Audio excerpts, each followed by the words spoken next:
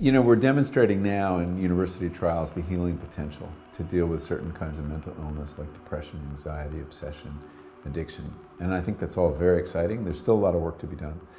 But I think it would be a shame if we completely medicalized these substances and lost track of what one researcher memorably described to me as the betterment of well people. Um, that, you know, yes, there are people who have diagnosable pathologies like depression, but we all have depression sometimes. We all have addiction sometimes, addictive behaviors in our lives.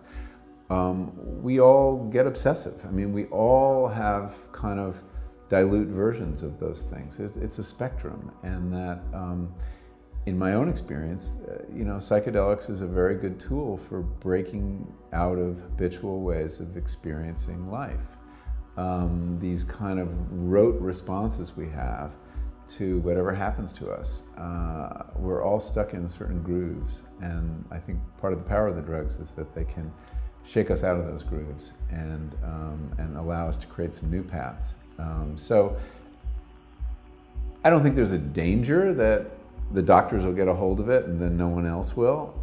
I, I think that they'll still be available underground. Um, it would be great if it were legally possible for people to have guided psilocybin experiences or LSD experiences, uh, and that could well happen. I mean, once doctors can prescribe it, they can prescribe it off label. I mean, who's to say there won't someday be a mental health spa operated perhaps by the Psychedelic Society with a doctor employed to write the prescriptions and screen everybody really carefully and prepare everybody really carefully. The advantage, the disadvantage of a prohibition of something is you can't regulate it. it er, anything goes beneath that prohibition. Whereas if you, if you move toward a legalization of some kind, you can set in place the kind of controls and regulations that you need to make optimal use. Um, I don't believe in a kind of straight out legalization like we're seeing with cannabis. Anybody over 18 can have access. I think these, I think these substances are too powerful.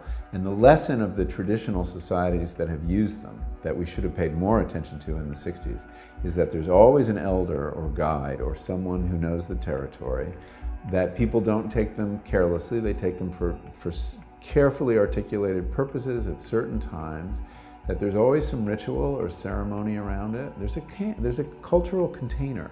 We don't know what that appropriate container is for our culture. There's the medical container, but there needs to be another one too. And that's very important work that needs to be done.